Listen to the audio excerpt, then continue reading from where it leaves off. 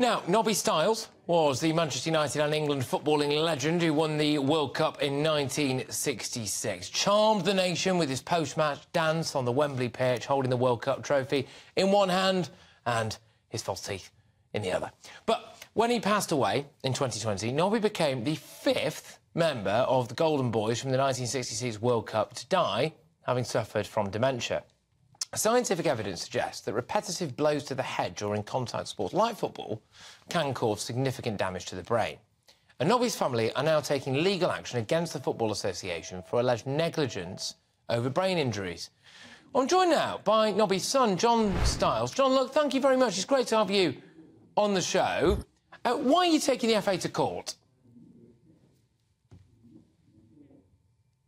Uh, quite simply, Patrick, it's because after three years of campaigning after my dad died to get help for players who are suffering with uh, CTE dementia, um, uh, nothing's happened. So we've got to do something. It's too late for my dad.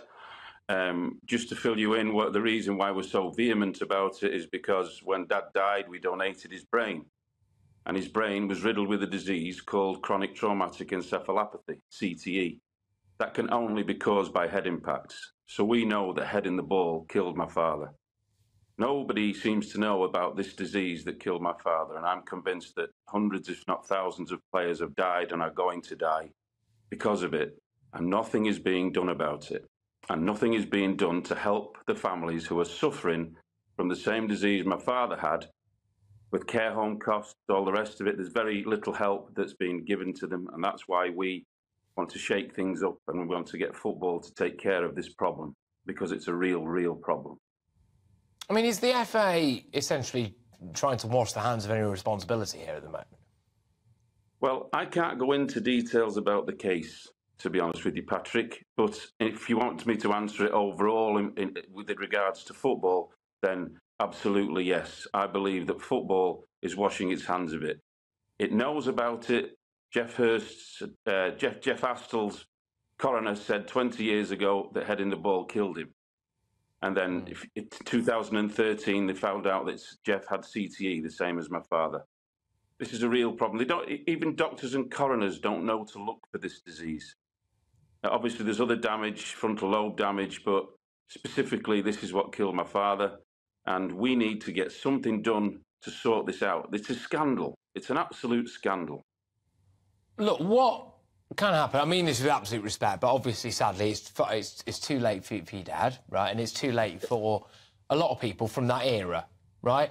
So, re realistically, what can happen now? Well, what I want to see, Patrick, is a, fund, a proper fund, not like the one that's created recently. You see, in any other industry, Patrick, if you had workers dying of, a, of, a, of an injury from the job that they were doing, you would have a union protecting them. But the footballers don't have a, a union that functions properly. It doesn't look after its members. It doesn't look after its ex-players. They're not looking being looked after because they've got to pay for health care funds and all the rest of it. So I want a fund. We want a fund created, a proper fund that will take care of all the players who get dementia from heading the ball to take care of the healthcare costs. And we want the players to be informed, the, the current players. I mean, I went. I got kicked out of Doncaster Rovers, my ex-club, for handing out leaflets to players.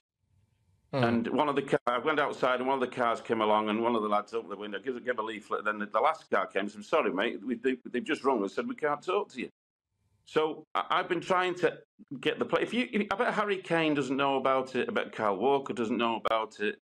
I bet Lucy Bronze doesn't know what CT is. And this mm. is a disgrace. They should know, and then they can make their own informed decision. I'm not saying take it heading out football, but they should be able to. Did you know about CTE, Patrick? Before I've just mentioned. No, no, not really. No, no. Well, no. this this is what I'm saying, and this is something to do with the national game. Mm. Heading the ball, what, hap- what happens, Patrick, is you head the ball, a tau protein breaks off. If you don't have, a, have another impact, it settles down. Over the years, the footballers had t- tens of thousands of balls. Mm. The tau protein clumps up, lodges on the brain and destroys it. And that's what killed okay. my father.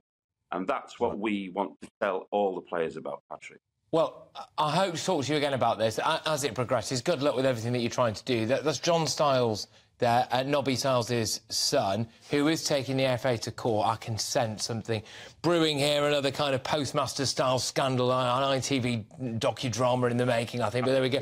Um, an FA spokesperson did say, thank you very much, uh, an FA spokesperson did say, uh, we're not able to comment on ongoing legal proceedings. We continue to take a leading role in reviewing and improving the safety of our game. This includes investing in and supporting multiple projects in order to gain a greater understanding of this area. Uh, exactly. So you can also just read the rest of that statement. It's on your screens right there, right now.